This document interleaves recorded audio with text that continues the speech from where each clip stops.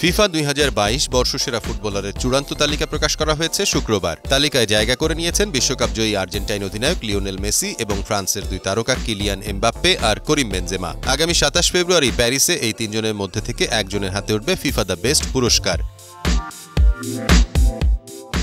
Lionel Messi দলকে বিশ্বকাপ জিতিয়েছেন। Kylian Mbappe দুর্দান্ত পারফরমেন্সের পরও একটুর জন্য পারেননি দলকে সর্বোচ্চ সাফল্য এনে দিতে। মেসি এমবাপ্পে দুজনই জায়গা পেয়েছেন ফিফার বর্ষসেরা ফুটবলারের সংক্ষিপ্ত তালিকায়। তাদের সঙ্গে আছেন বর্তমান ব্যালন্ডিয়র জয়ী Real Madrid forward Karim Benzema বিশ্বকাপে চোটের জন্য খেলতে না পারলেও গত বছর রিয়াল মাদ্রিদের হয়ে দুর্দান্ত একটি মৌসুম কাটিয়ে তিনি জিতেছেন চ্যাম্পিয়ন্স লিগ আর লা লিগা শিরোপা। আর সৌদি ক্লাব আল হিলালকে হারিয়ে জিতেছেন ফিফা ক্লাব ওয়ার্ল্ড কাপের শিরোপা, যা রিয়াল মাদ্রিদের রেকর্ড পঞ্চম শিরোপা।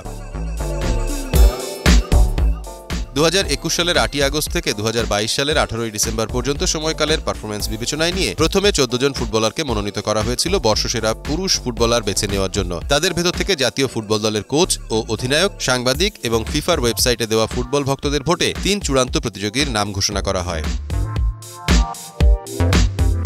মেয়েদের বর্ষসেরা ফুটবলারের খেতাব জেতার দৌড়ে চূড়ান্ত তালিকায় আছেন দুইবারের ব্যালন্ডিয়র জয়ী স্পেনের অ্যালেক্সিয়া পুটলাস ইংল্যান্ডের ফরওয়ার্ড বেথ মিড এবং যুক্তরাষ্ট্রের তারকা ফুটবলার অ্যালেক্স মর্গান। ফিফা দু হাজার বাইশ বর্ষসেরা কোচের সংক্ষিপ্ত তালিকায় প্রত্যাশিতভাবে জায়গা করে নিয়েছেন আর্জেন্টিনার বিশ্বকাপ জয়ী দলের কোচ লিওনেল স্কালোনি। তার সঙ্গে এই তালিকায় রয়েছে রিয়াল মাদ্রিদের কার্লো আঞ্চলত্তি এবং ম্যানচেস্টার সিটির অভিজ্ঞ কোচ পেপ গার্দিওলার নামও।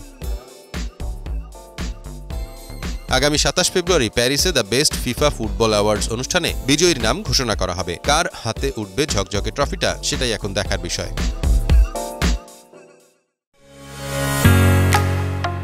ঢালাইয়ের সেরা প্রিমিয়ার সিমেন্ট।